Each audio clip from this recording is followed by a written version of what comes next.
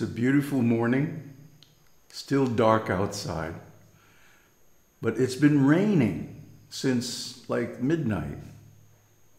Nice, slow, steady monsoon rains.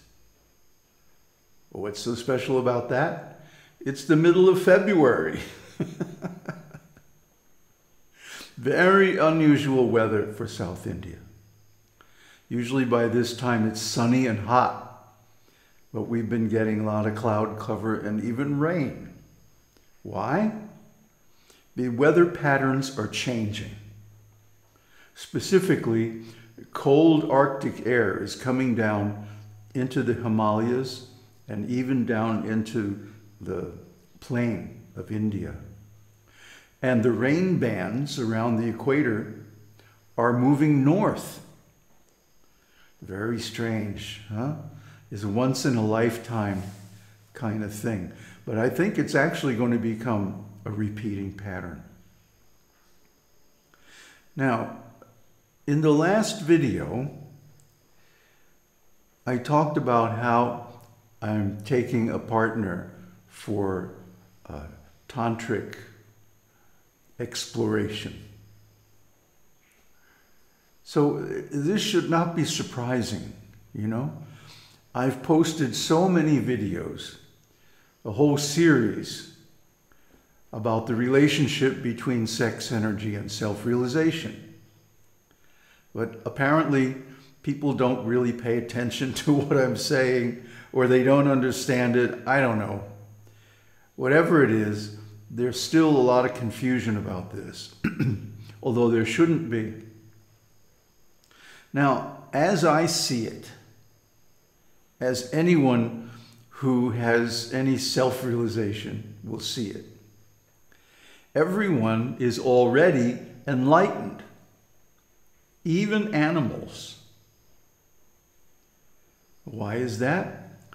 Well, structurally, enlightenment means being situated in Turiya consciousness. And then the objects of that consciousness are the other three steps or, or qualities of consciousness. Jagrat, waking consciousness, Svapna, dreams, and Sushupti, or deep sleep. Now, as I see it, as anyone who has any self realization sees it, everyone is already situated in Turiya and viewing the other states of consciousness from that consciousness of Turiya. You know, it's just like changing the lenses on a camera. You ever seen one of those old style video cameras? It has this rotating thing with several lenses on it. And then to go from a, a medium focus to a close up or to a telephoto, all they have to do is push a button and the thing rotates click, click. Huh? In the same way, the Turiya consciousness is fundamental to everyone. That's like the body of the camera with the, with the photoreceptors and all that. But then the lenses, the other three states of consciousness, change. So I don't know, you know what, what is so difficult about this to grasp? We are already in Turiya watching the other states of consciousness. Well, the problem, of course, is that people are identified with those consciousness. You see, the conditioned states of consciousness. Just like Mother Lakshmi was explaining in Lakshmi Tantra, that there are two levels of creation the pure creation, unmanifest creation, and the impure manifest creation. So, similarly, we have the Turiya consciousness, which is pure by, by nature, and then we have the other three states, which are impure, conditioned. What does it mean, conditioned? Limited. When we are in Jagrat consciousness, for example, we are identified with the body and senses. And we think that the body and the world are real. And there's all these different, different objects. In Svapna consciousness, we think the dream is real, even though it's simply thoughts, memories. Uh, and in Sushupti, we think the void is real. And of course, these are also stages of self realization.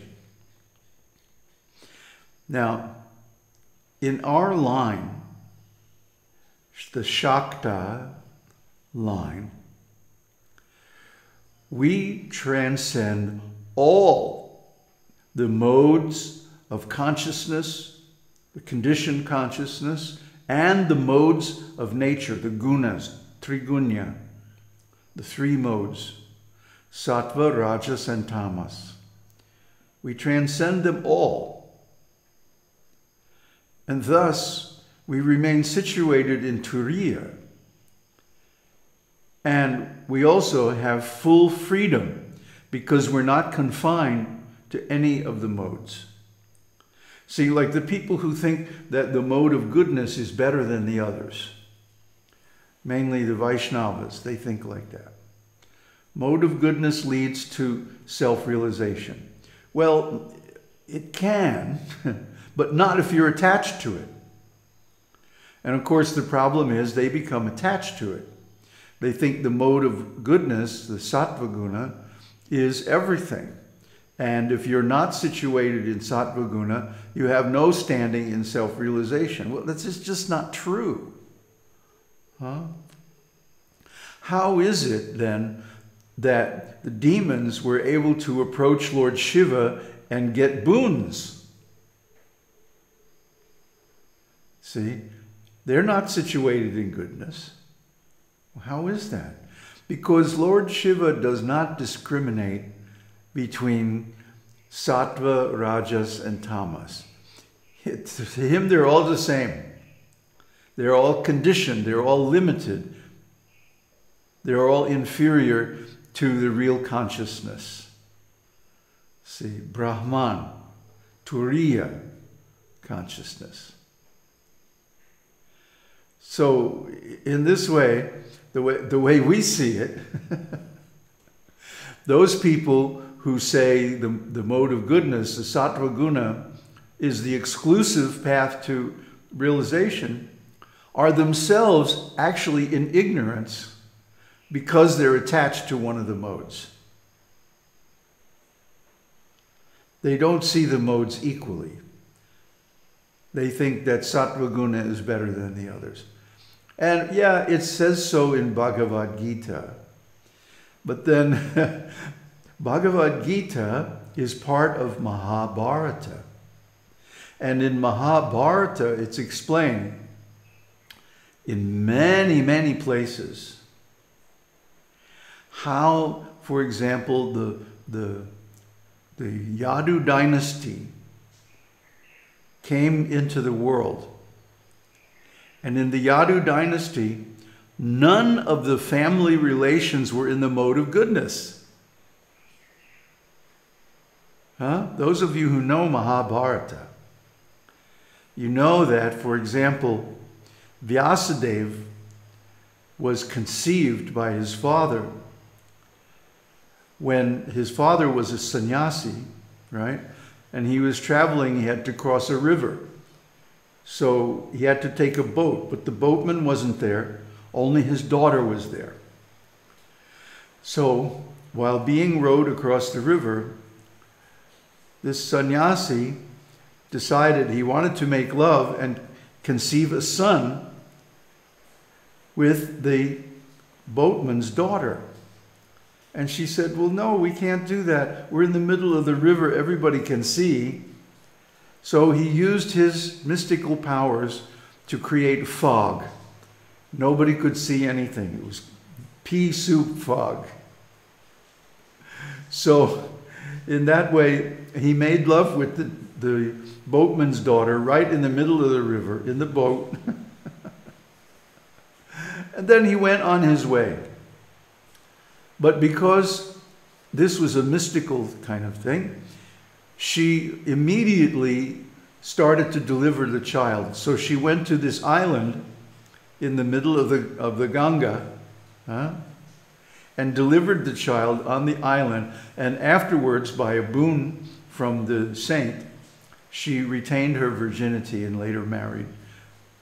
But anyway, her son, Krishna Dvaipayana Vyasa, uh, why is his name Dvaipayana? Means born on an island.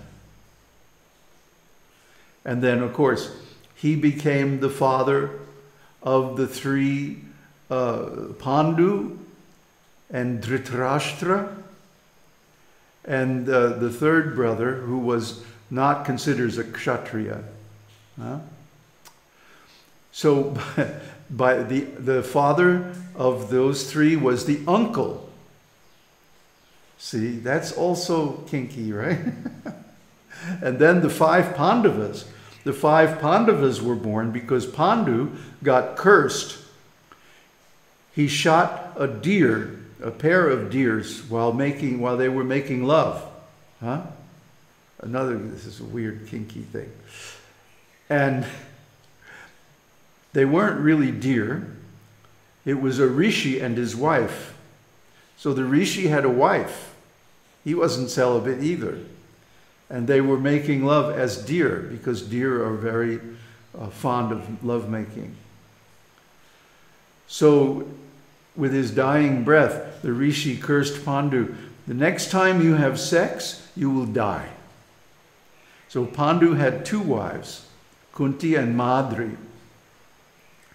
The Kunti had gotten a mantra, uh, a special mantra that she could call any demigod. And what she didn't know is that when she called them, the god would have sex with her and create a child.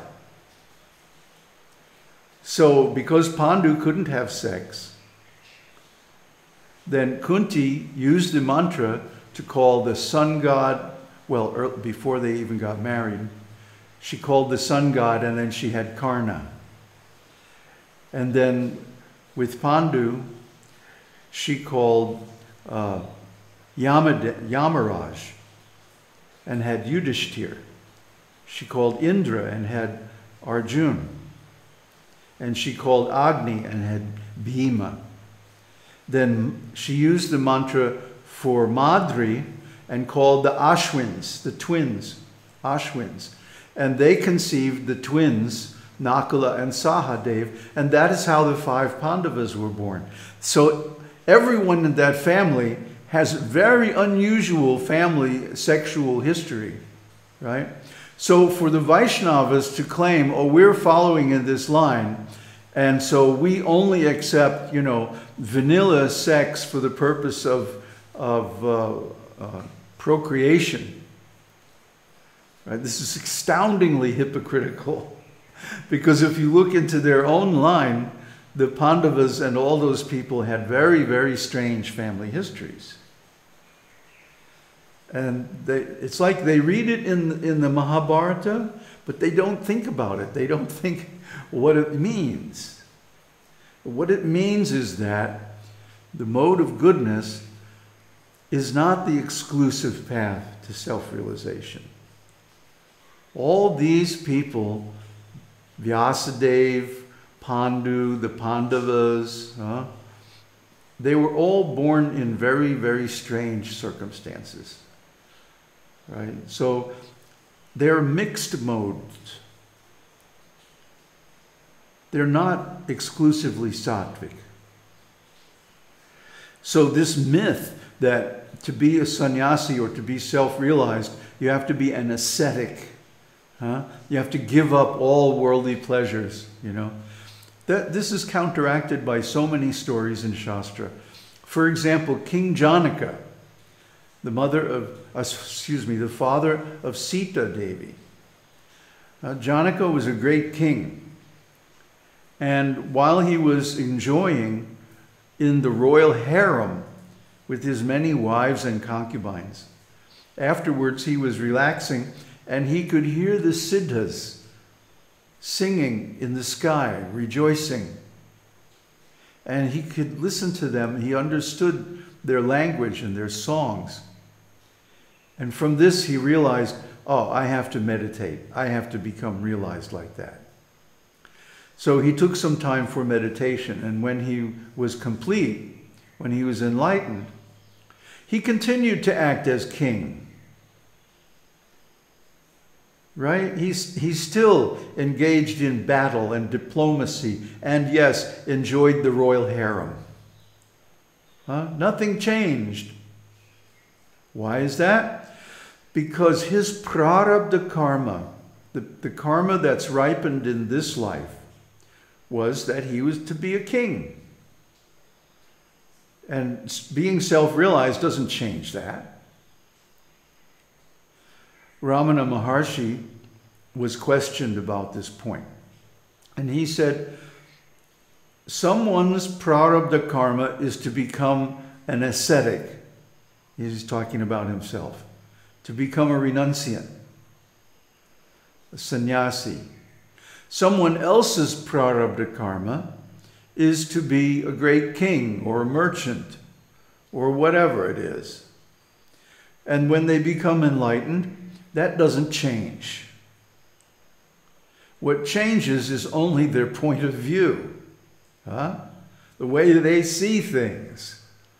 Because instead of identifying with the body, instead of being conditioned by the three impure states of consciousness, they adopt the viewpoint of uh, the Turiya, and they see that the object of consciousness is only consciousness. The object of unconditioned consciousness is conditioned consciousness. So there's no, no duality. Consciousness is seeing consciousness, that's all. And as far as the contents of the conditioned states of consciousness, that's all Maya. Doesn't really exist. It's just an illusion, a mirage of these three gunas. See? And this is how one is raised to the pure creation. This is how one transcends not only the mode of passion and ignorance, rajas and tamas, but also the mode of sattva, goodness. They transcend all the modes. So, and this is the exclusive property of the Shaktas and Shaivas, the followers of Shiva and the followers of Shakti. Uh, because they are given this vision, they are given this special point of view because they are situated in Brahman. They're situated in pure consciousness. So they don't become attached to external forms. See, the religious people, the Vaishnavas and like that, are so much attached to their external forms that they become conditioned by the mode of goodness, and thus they fail to attain complete self realization. But that limitation is overcome by the Shaivas and Shaktas because they are actually situated in the pure creation beyond the modes. Om Tat Sat. Om Shakti Om.